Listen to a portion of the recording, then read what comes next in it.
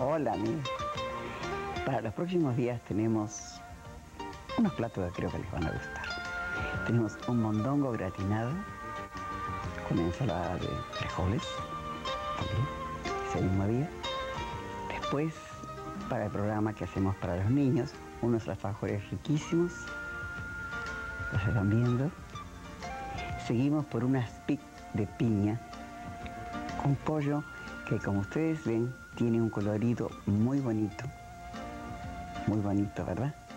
Y terminamos con unas bombas rellenas acarameladas. No se olviden, los esperamos.